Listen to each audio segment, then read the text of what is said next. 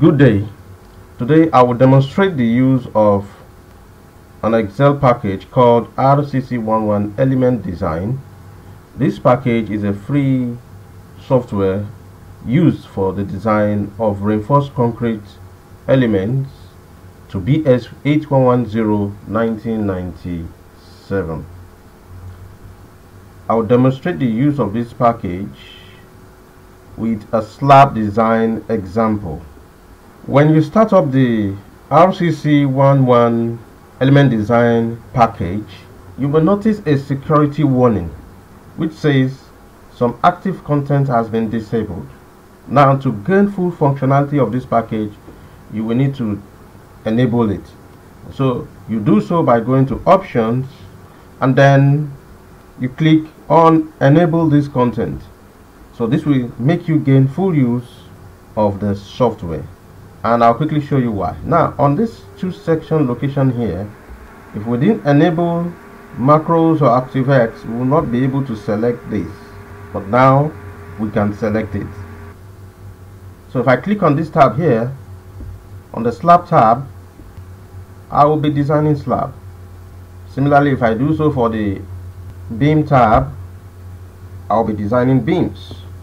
And similarly on the column tab, I'll be designing columns. Now looking at this the package itself under slab tab this program designs to BS 8110 1997 and in here is the logo. You can change the logo. It is possible to change the logo. Also we have the input section and the output section. The input section is where you input your values for instance, in the location section, you can enter the name of the slab that you are designing. And then these are the parameters you put in. So we have design moment, redistribution factor. Uh, we have the span, the height of the slab, which is the thickness of the slab panel. And then the bar, the reinforcement bar. Yes, you need to fix it. You need to input the reinforcement bar that you think will work. And then the cover to the reinforcement. And this FCU is the strength of the concrete. And then we have FY the strength of steel. And this YC are factors of safety. YC and YS are the factors of uh, safety. Now this is uh, what we do in the input section. And you'll notice that there is no input for loading which means that we will have to calculate the loading which will enable us to calculate the design moment. So we need the design moment of the slab panel we want to design before we actually come here at all.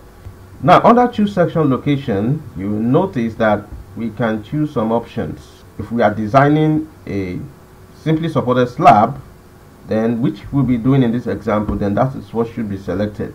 Now this panel tells us it's a one-way slab.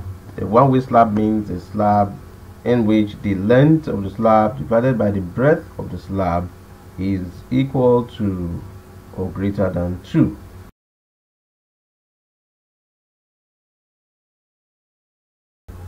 Weight of the concrete is 24 kilonewtons per meter cubic. The slab thickness is 150 millimeters or 0.15 meters. The dead weight of the slab would be that is the weight of the concrete which is 24 kilonewton per meter cubic multiplied by 0.15 meters which gives us. And so when we include the partition loading and the finishing loading of uh, 1 kilonewton per meter squared each we can have a total dead load of 5.6 kilonewton per meter squared. So for a residential building live load is 1.5 kilonewton per meter squared. Uh, our design load calculation is now 1.4 times dead load plus 1.6 times live load, which is 1.4 times 5.6 plus 1.6 times 1.5, which gives us a design load of 10.24 kilonewton per meter squared for that particular slab panel.